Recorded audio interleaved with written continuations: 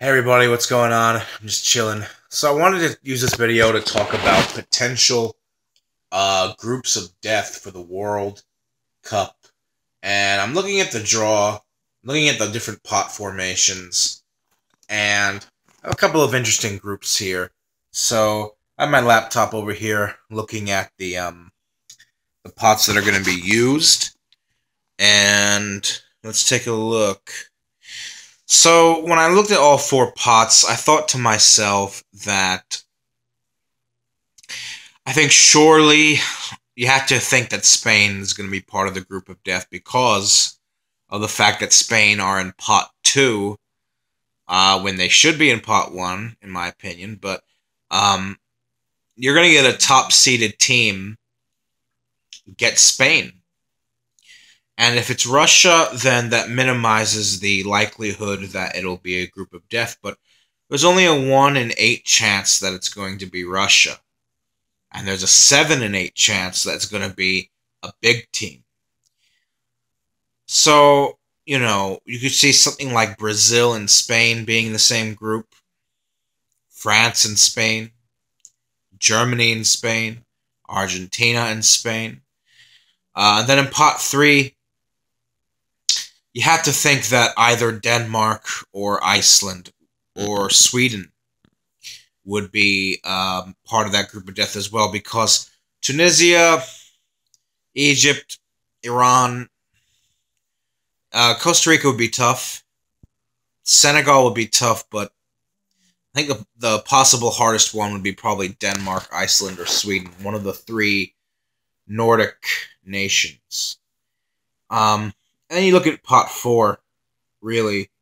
Um, teams like Serbia, Nigeria, Japan, Morocco, Australia. All those teams would be really tough. Panama, South Korea, Saudi Arabia, not really. Uh,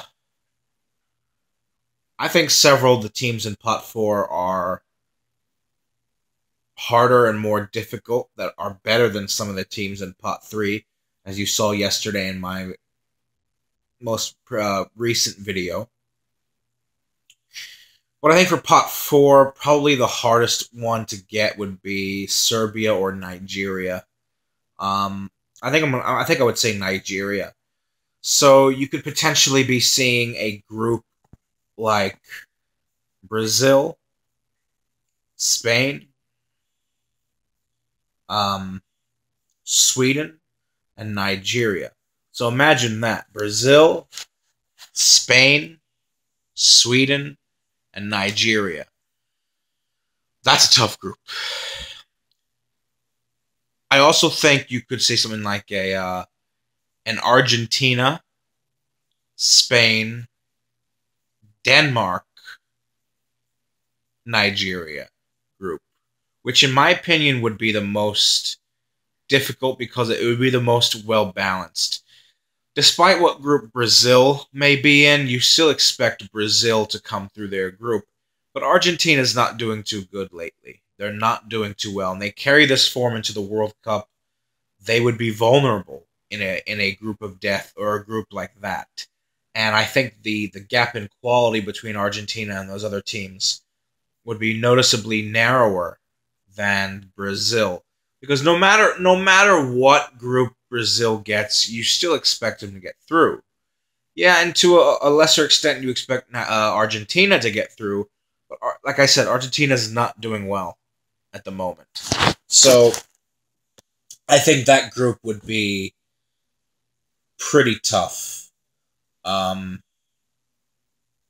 yeah, Argentina, Spain, Denmark, and Nigeria. That'd be, I mean, eh, I don't know who comes through that group.